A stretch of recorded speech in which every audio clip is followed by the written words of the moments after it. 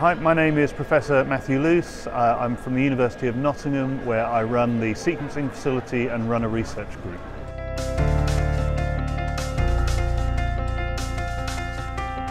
Uh, so at the moment my research activity is focused on developing tools and methods to exploit nanopore sequencing um, to best understand human disease uh, and human disorders uh, as well as develop methods for uh, faster genome assembly and faster sequence analysis. So uh, the, the use of single molecule sequencing uh, has been transformative to our work because it allows us to do things that we couldn't do before. So it allows us to assemble regions of genomes we couldn't see before.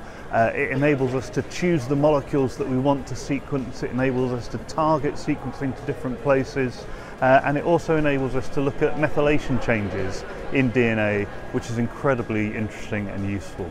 I think single molecule techniques for people studying the human genome are incredibly interesting.